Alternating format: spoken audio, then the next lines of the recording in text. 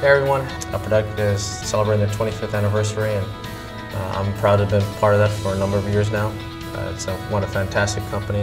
It's been pretty neat to build good pieces that are authentic, that are innovative to our fans and work directly with them. It's why Upper Deck was started and uh, you know, here we are.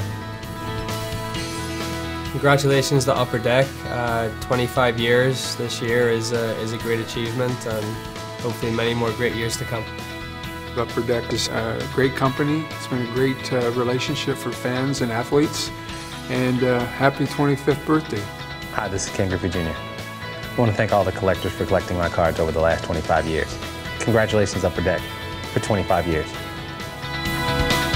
Upper Deck's play has changed as far as you know, creating great memorabilia, um, great things that fans love. I think as a fan and as a supporter, they would love to to have the jersey off our back or the shoes that comes off our feet. And for me to be sitting here with Upper Deck and being able to sign things and go out to the true fans that love the way I approach the game, um, it's humbling. I mean, it's more humbling to me than anything. And I just want to wish Upper Deck a happy 25th anniversary. It's crazy.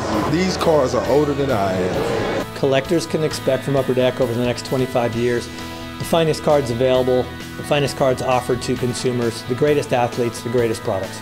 Thank you for the continued support over the last 25 years. We value every collector, every card shop, everybody that's ever collected an Upper Deck trading card, and we'd like to say thank you.